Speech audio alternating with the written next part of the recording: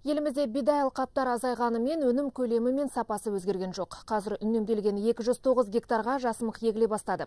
Еліміз дақылдың бұл түрін өндіруден әлемді көшбасшыға айналуды көздеп отыр.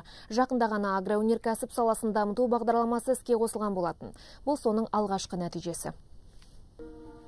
Жыл басынан бері елімізде егіс алқаптарын әртараптандыру процесі қарқынды жүргізіліп келеді. Мұнда шешім жемшөп, қант, майлы дақыл тұқымы өндірісін шамамен бір жарым есе арттыруға мүмкіндік берді. Отандық шаруалар бұл жаңашылдыққа қатысты оң пікірін білдіріп те жатыр.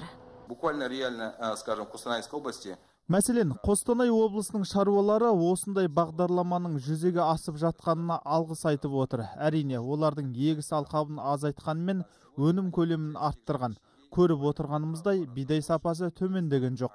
Биылдан бастап үкімет тек жерді ғана емес қазынадағы қаражатты да үнемдеуге кірісті. Бұл субсидия беру тәртібін өзгертуден кейін мүмкін болды. Министрлік өкілдерінің ақпаратына сүйенсек бюджетте үнемделген 25 миллиард теңге бар. Нәтижесінде бұл қаржыға қол жеткізгендер саны да үш есе артты. Прежней э, системы субсидирования бұрын инвестициялық субсидияландыруға қойылатын талап өте жоғары болатын. Яғни ауыл шаруашылық өнімдерін өндіретін шағын шаруашылықтар мемлекеттік қолдауға қол жеткізе алмайтын. Мәселен былтыр 12 бүтін оннан үш миллиард теңге көлеміндегі субсидияның 49 пайызын ірі шаруа қожалықтары алған. Бұл қатысушылардың небәрі екі пайызы ғана. Яғни мемлекеттік қолдаудың тең жартысы соларға үлестірілді. Субсидия беру жүйесіндегі өзгерістер бидай сапасын жақсартуға да әсер етті. Мәселен бұған дейін мемлекет тарапынан жеңілдік тек алғашқы репродукция тұқымдарын сатып алуға ғана берілетін. Қайрат айтуғановтың айтуынша енді субсидия арқылы жоғары сапалы тұқымдарға да қол жеткізу мүмкін.